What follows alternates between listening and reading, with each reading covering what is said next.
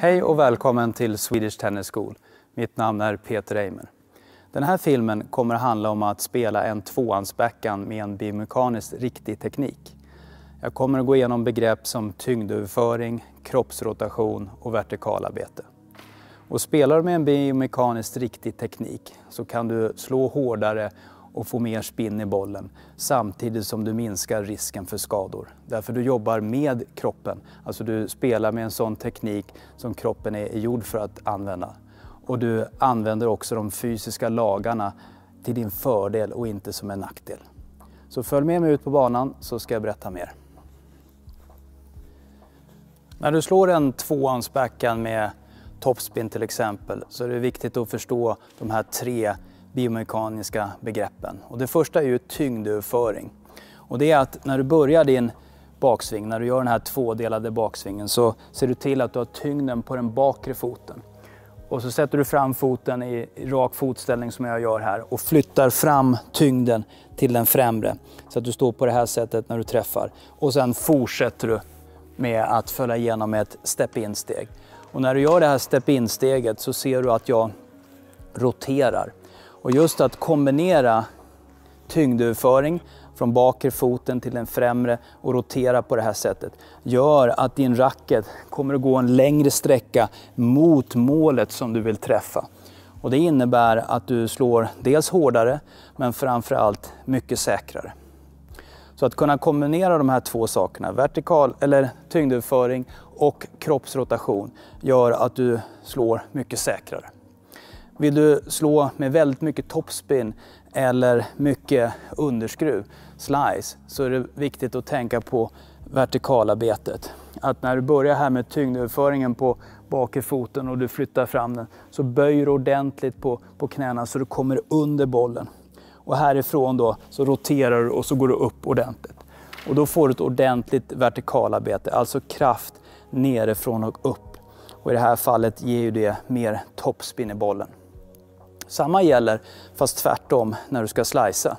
Då gäller det att ha ett vertikalarbete uppifrån och ner samtidigt som du flyttar in tyngden i slaget och roterar.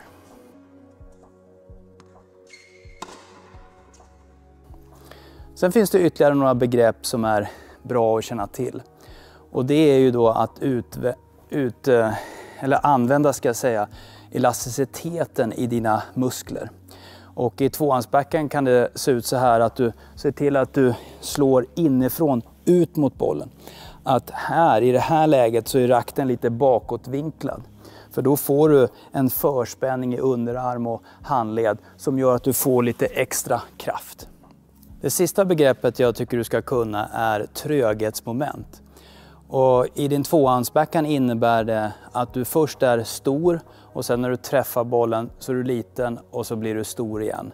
Så när jag tar tillbaka racketen på det här sättet så vill jag ha en stor baksving och jag vill då rotera ordentligt så jag tittar över axeln för att kroppsrotation är ju viktigt. Så jag är stor här och när jag träffar så träffar jag ganska nära kroppen och du är liten och så svingar jag igenom och då blir jag stor igen, bland annat med det här step-in-steget. Och det här gör att du kan slå med väldigt mycket kraft men också behålla kontrollen.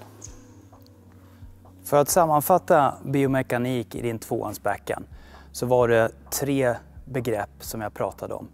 Det var tyngdöverföring, att du börjar med din tyngd på den bakre foten och sen när du svingar igenom bollen flyttar tyngden fram på din främre fot.